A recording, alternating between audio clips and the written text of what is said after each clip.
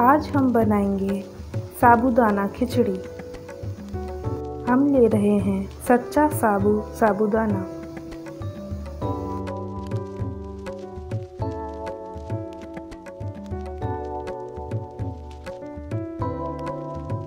एक कप साबूदाने को डेढ़ कप पानी में तीन घंटे के लिए भिगो लीजिए। दो टेबलस्पून घी गरम करें। इसमें एक छोटा चम्मच जीरा डालकर चटकाएँ। अब इसमें एक छोटा चम्मच बारीक कटा अदरक, एक छोटी चम्मच बारीक कटी हरी मिर्च डालकर अच्छे से भूनें।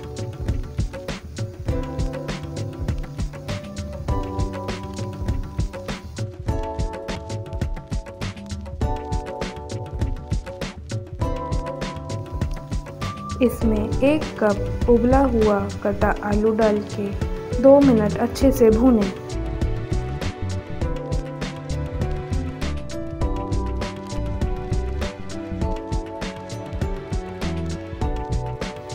स्वाद अनुसार नमक डालें। अब भीगा हुआ साबूदाना डालकर इसमें अच्छे से मिलाएँ।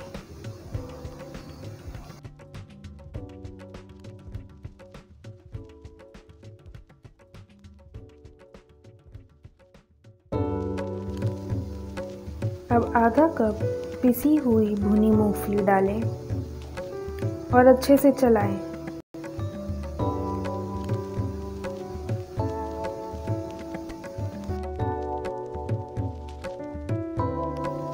आधा कप ताजे हरे धनिए की पत्ती डालें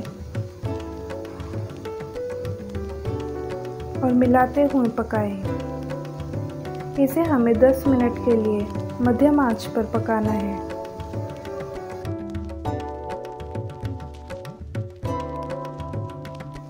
साबूदाने की खिचड़ी बनकर तैयार है। इसे गरम गरम परोसे सच्चा साबू का एकदम खिला खिला साबुदाना बनकर तैयार है।